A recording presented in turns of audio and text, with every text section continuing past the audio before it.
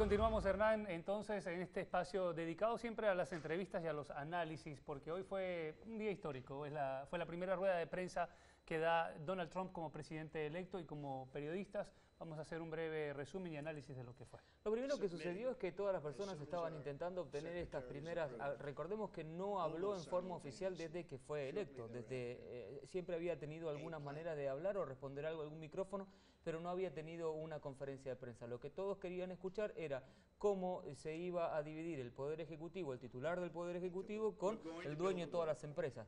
Una frase para eh, destacar de Donald Trump con respecto a esta situación dijo, podría ser presidente de Estados Unidos y manejar la organización Trump al mismo tiempo, pero no quiero hacer eso. Esto haciendo referencia a que la Constitución le permite ser eh, titular de sus organizaciones y también titular del Poder Ejecutivo sin ir en contra de la ley. Y la rueda de prensa estuvo, no digo interrumpida, pero empezó el discurso y acto seguido llamó a una abogada de impuestos para explicar justamente eso que tú acabas de señalar. Sin embargo, y desde que empezamos con este análisis, también el tema migratorio está muy eh, en el ojo de nuestra comunidad y Donald Trump insistió que va a construir el muro sin especificar realmente cómo va a ser financiado, porque según él, México va a pagar por ese muro. Así que fue, fueron varios minutos que él dedicó al tema migratorio con el tema del muro.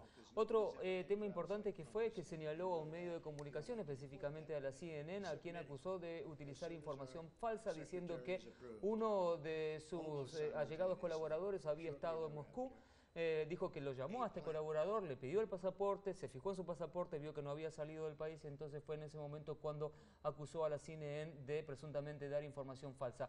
Al terminar de hacer esta locución, el periodista de CNN le pidió la palabra al presidente electo Donald Trump, no le dio eh, la palabra puesto que había hecho una pregunta con anterioridad. Sí, la atención sin duda marcó la ronda de preguntas y respuestas, pero hay otro tema, Hernán, que eh, tiene que ver con el Obamacare. Y él eh, bien lo dijo en la rueda de prensa, que tan pronto él pueda tener la disposición, lo, va a modificar o lo va a eliminar. Sin embargo, queremos compartir con nuestra audiencia un informe sobre el Obamacare y también como muchas personas de nuestra comunidad, no solo hispanos, eh, necesitan de ello. Compartimos. El recién electo presidente Donald Trump prometió eliminar Obamacare. La congresista Kathy Castor presentó su propuesta pidiéndole al Congreso mantenga la no discriminación de personas con enfermedades preexistentes por las empresas de seguros.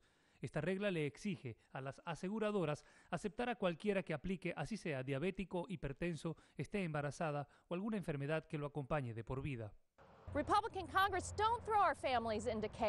Congresistas republicanos, no dejen a nuestras familias al borde del colapso. No rechacen a los que sufren enfermedades que los acompañarán toda la vida. Un caso presentado por Castor fue el de Greg Robertson. Ha sufrido dos tipos de cáncer y en ambos su seguro médico le ha brindado la cobertura para salir adelante, pero si llegara a eliminarse la no discriminación para inscribirse en la cobertura médica, Greg podría, como él mismo lo dice, tener que decidir si su familia se queda en la calle o si él sigue vivo. La mayoría del Congreso no ha dicho que anulará este punto del sistema de salud, pero tampoco aceptan la propuesta de Castor para que de una vez sea ratificada la posición de que se mantenga. Eso es injusto porque yo considero que las personas que tengan una condición persistente de salud deben ser aceptados por los seguros. Debe quedar claro que el sistema de salud, en caso de modificarse en el Congreso, no tomará efecto en este 2017, sino hasta el próximo periodo, que sería en 2018. Por lo tanto, si usted aún no se ha inscrito, está a tiempo de hacerlo y evitar la multa. Personas que no logren la aplicación el, día 15 a las 12 de la noche no tendrán cobertura el primero de febrero. Luego tenemos 15 días más, pero esas personas después del 15 tendrán cobertura el primero de marzo. Asesórese y no pierda tiempo para inscribirse en el plan de salud. Evite la multa y sobre todo, evite estar fuera de cobertura.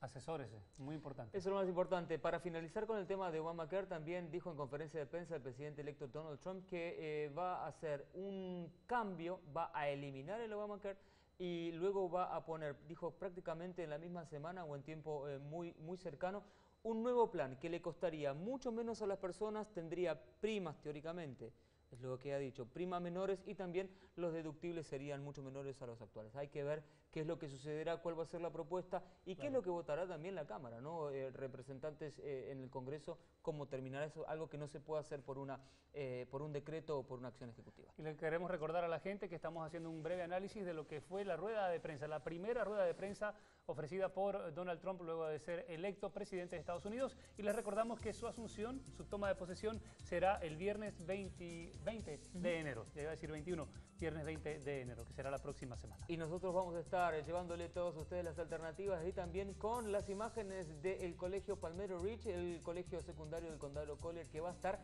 junto a su banda 200